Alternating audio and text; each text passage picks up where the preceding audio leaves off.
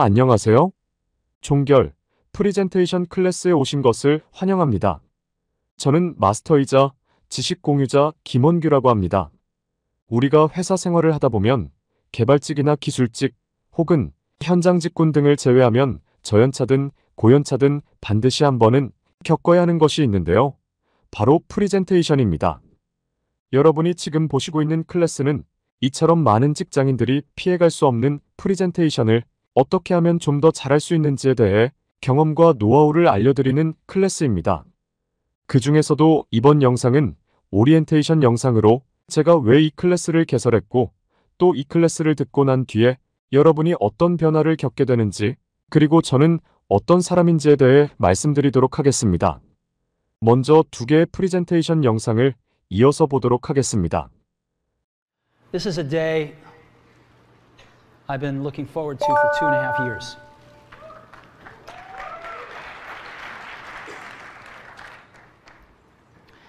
Every once in a while, a revolutionary product comes along that changes everything.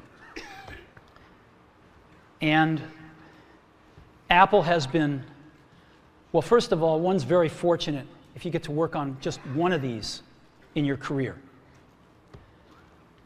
Apple's been very fortunate. It's been able to introduce a few of these into the world. In 1984, we introduced the Macintosh. It didn't just change Apple, it changed the whole computer industry.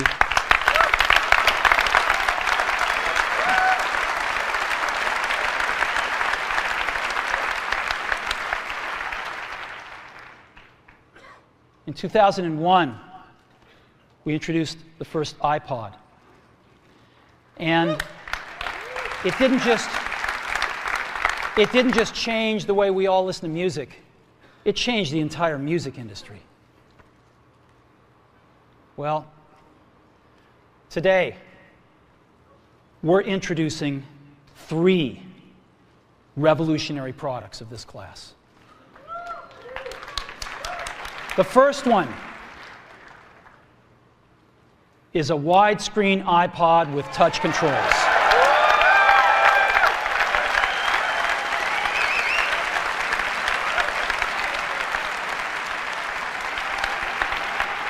The second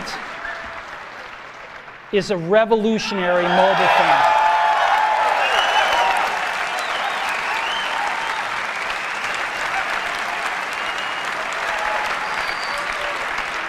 And the third is a breakthrough internet communications device. So, three things a widescreen iPod with touch controls, a revolutionary mobile phone, and a breakthrough internet communications device. An iPod, a phone, and an internet communicator. An iPod, a phone. Are you getting it? These are not three separate devices. This is one device. And we are calling it iPhone. Today, today Apple is going to reinvent the phone.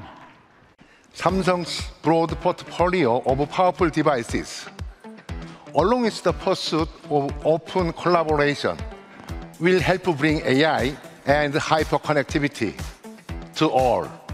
That is our goal at Samsung to bring AI to millions around the world, to make it work for you, to make it work for all. Originally created 10 years ago as a mobile security platform, Samsung Knox has become so much more. Samsung Knox has evolved into a true multi device security platform. We're also expanding our efforts to build resource circularity to our devices. From how they're designed to how we use them at home. And finally, how they're reused and recycled. As we look to a smarter, better connected future. Breakthrough technologies can help us be more responsible and inclusive about how we use our devices. 네, 두 개의 프리젠테이션 영상을 보셨는데요. 어떠세요? 여러분은 두 영상의 차이, 즉 프리젠테이션의 차이점을 찾으셨는지 궁금한데요. 아마 찾으신 분들도 있고 못 찾으신 분들도 있을 거라고 생각됩니다. 하지만 찾든 못 찾든 상관없습니다. 중요한 것은 이 두 영상을 구성하는 프리젠테이션의 차이를 느낄 수 있어야 한다는 것인데요. 다만 아직까지 차이점을 못 느끼셨다고 해도 괜찮습니다. 이 클래스는 그래서 존재하는 것이니까요. 그리고 이 두 영상은 이 클래스가 진행되는 동안 종종 예시로 들어드릴 겁니다. 이처럼 프리젠테이션은 앞서 본 두 영상처럼 대기업 대표나 임원이 아니더라도 그리고 프리젠테이션의 규모와 상관없이 웬만한 직장인이라면 대부분 한 번은 꼭 거쳐야 하는 과정인데요. 그런데 프리젠테이션을 하게 되면 걱정되는 게 하나 있죠. 저연차든 고연차든 프리젠테이션을 해야 한다는 통보를 받게 되면 누구나 해당되는 것인데요. 바로 긴장감입니다. 나름대로 잘 준비했다고 하더라도 막상 프리젠테이션이 코앞으로 다가오면 긴장감이 높아지고 실제 프리젠테이션을 시작하게 되면 심장은 빨리 뛰고 다리가 후들거리기도 합니다. 그러면서 과연 잘할 수 있을까라는 생각이 들기도 하는데요. 특히 저연차, 그 중에서도 프리젠테이션 경험이 전혀 없거나 적은 경우에 이런 긴장감은 훨씬 더 높아질 수밖에 없는데요. 하지만 걱정하지 마세요. 당연히 잘할 수 있습니다. 그렇게 만들어 드리는 것이 이 클래스의 목적이니까요. 그러면 제가 어떤 사람이길래 이렇게 자신있게 얘기하는지 궁금한 분들이 계실 텐데요. 이런 말씀을 드리는 저에 대해 간단히 말씀드리면 국내외 브랜드사 및 마케팅 대행사에서 23년 이상 근무하면서 프리젠테이션 120회 이상, 프리젠테이션을 통한 프로젝트 수주 금액 300억 원 이상, 프로젝트 공식 수주율 80% 이상을 기록한 프리젠테이션 전문가입니다. 더 정확하게는 이 숫자들 이후로는 숫자를 세보지 않았기 때문에 실제로는 말씀드린 숫자보다 더 많은 숫자를 달성했고요. 이런 프리젠테이션 전문가인 제가 여러분의 프리젠테이션 실력 향상을 도와드리겠습니다. 그리고 이 클래스를 완강하시면 반드시 프리젠테이션 실력은 향상될 수 있다고 자신있게 말씀드릴 수 있습니다. 그러면 다음 챕터부터 본격적으로 여러분의 프리젠테이션 실력이 향상될 수 있는 종결 프리젠테이션 클래스를 시작해 보도록 하겠습니다. 고맙습니다.